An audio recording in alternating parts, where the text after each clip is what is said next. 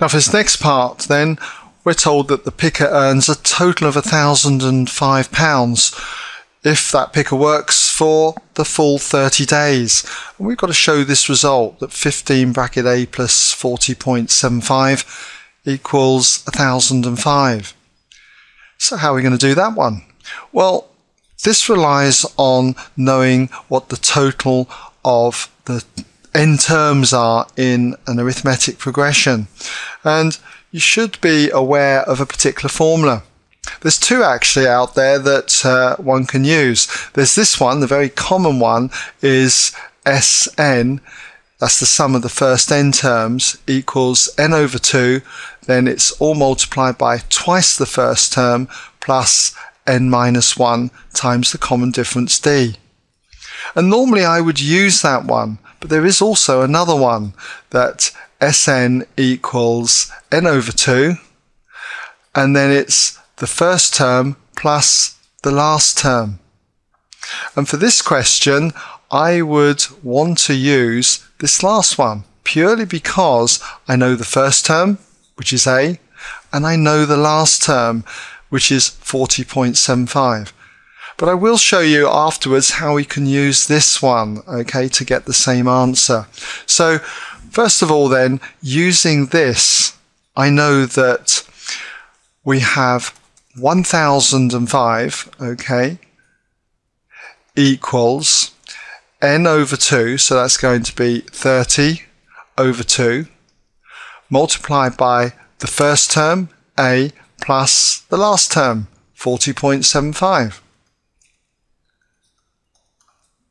And this is 15, so we've got that therefore 15. I'd write it the same way, by the way, as we've got to show. So we've got 15 here multiplied by a plus 40.75 equals the 1005. So that's the way that I would do it.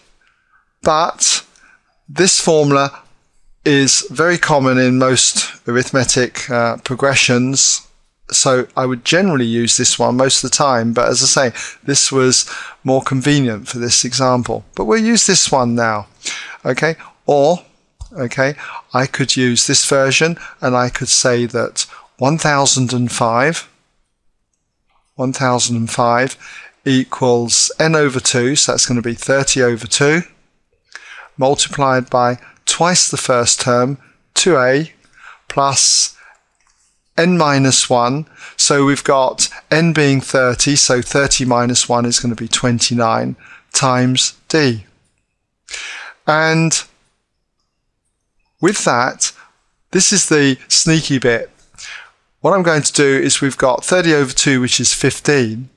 And then for the 2a, I'm going to split that as being a plus another a plus 29d. Okay, 29d. Now, what is a plus 29d?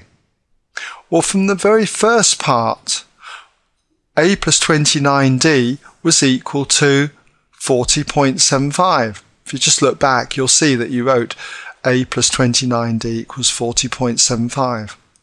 So what I can write in here is that this is equal to 15 bracket A plus, and that part was 40.75. So we've got 40.75.